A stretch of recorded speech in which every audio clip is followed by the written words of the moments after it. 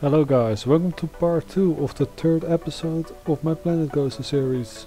In this episode I actually built a roller coaster instead of the scenery around the station. And I'm really happy how it turned out. If you missed the first part, you can click the link in the upper right corner.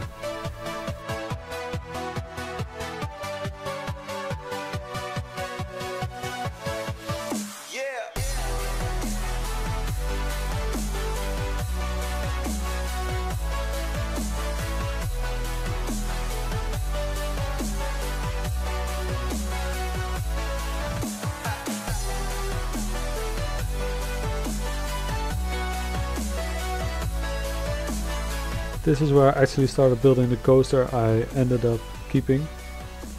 Uh, the first coaster was way too compact and small and it went way too fast and it, it was just...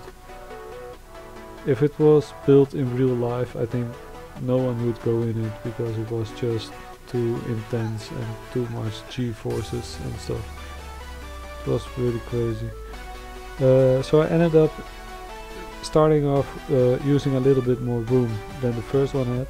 This way the roller coaster could slow down a bit and it wouldn't have tight corners to go through.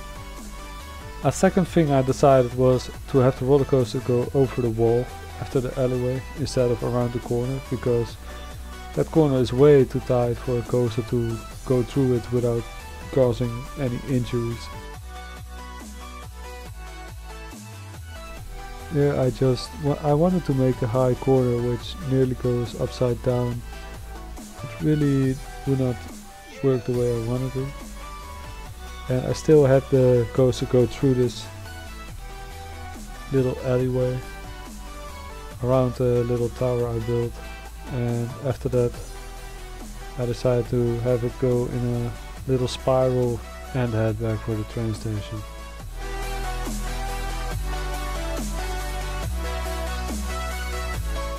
Of course I tried out the coaster and see uh, to see if it works and it got around the track but some things were just not fluent enough so I had to smooth the track a little bit.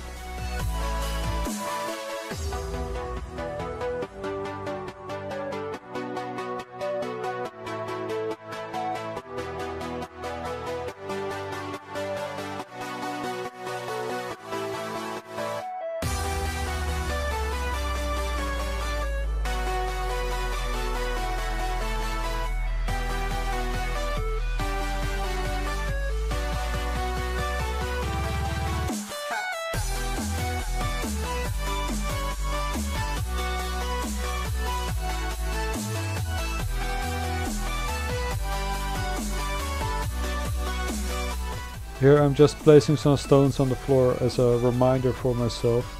I want to make a hill where the coaster goes around. I can't do that until the alpha, uh, the second alpha phase is released, which is next week, so I can wait for a week to finish that part of the scenery of the coast.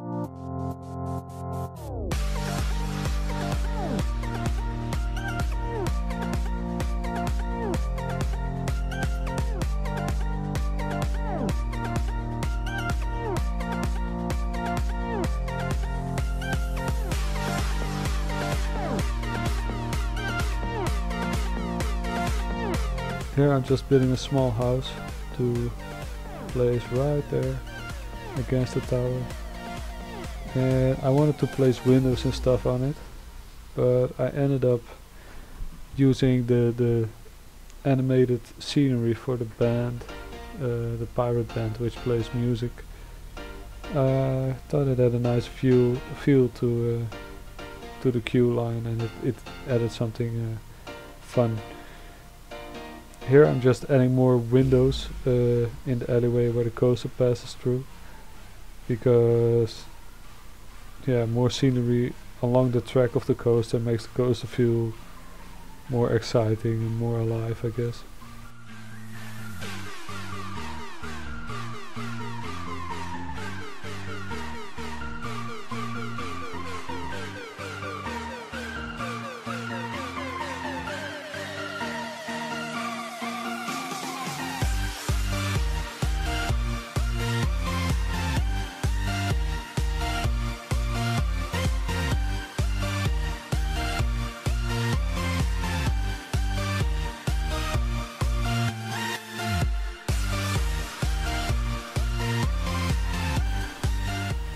As you can see I tried to build a, the queue line underneath the coaster but I couldn't. So I decided to try and raise the coaster and then load it again and that worked. Uh, I thought it would work because it does the same thing with scenery. If you build scenery first and then the coaster, it will just uh, go through it. But if you build a coaster first and then try to add scenery, you wouldn't be able to place the scenery on the same spot it was before.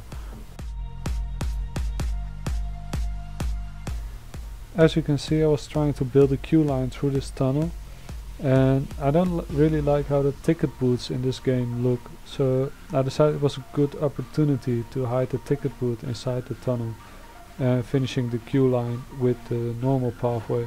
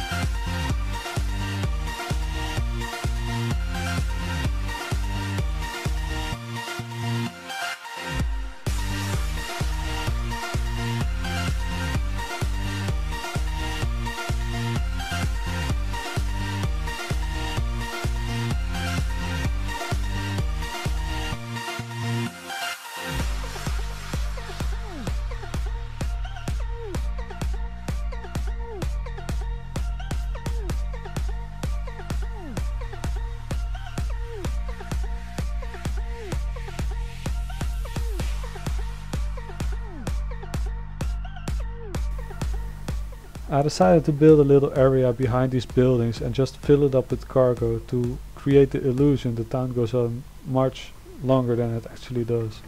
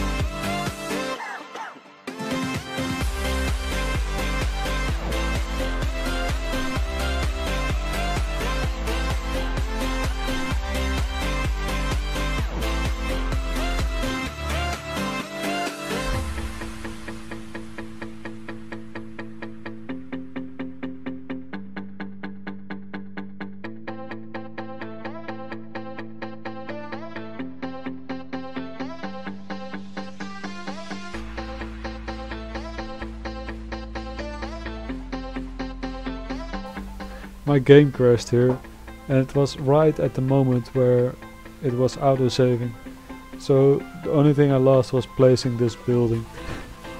I was lucky but I recommend you save your game every 30 minutes at least just in case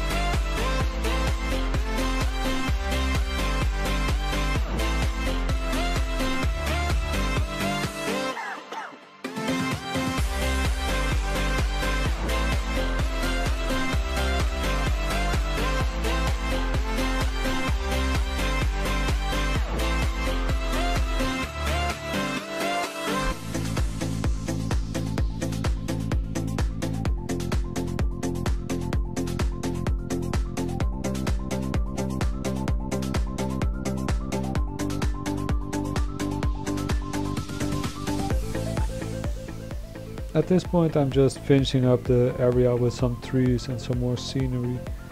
And it really gives gives this part of the of the park a completed view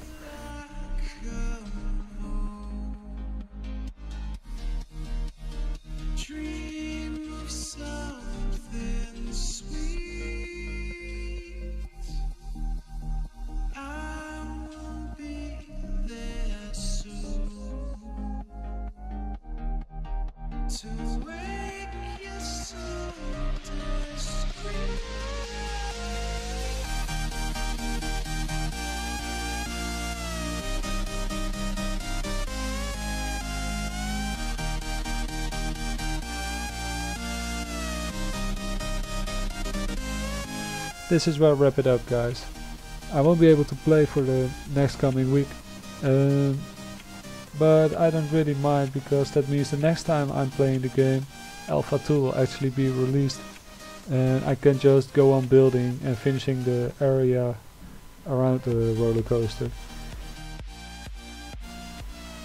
Anyways, thanks for watching. Here are some more shots of what I built this episode and I hope to see you next time.